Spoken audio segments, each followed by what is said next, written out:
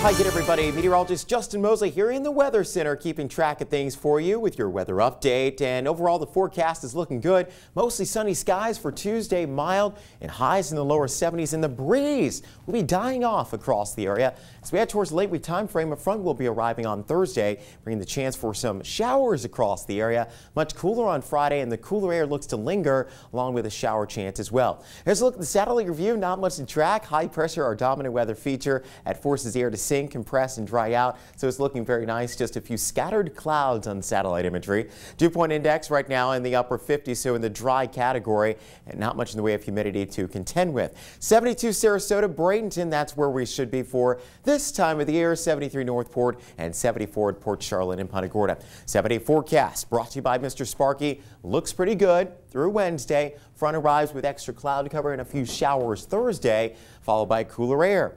Friday, Saturday, Sunday, and Monday, and then rain chances creep back in as we head towards the back half of the weekend and early next week.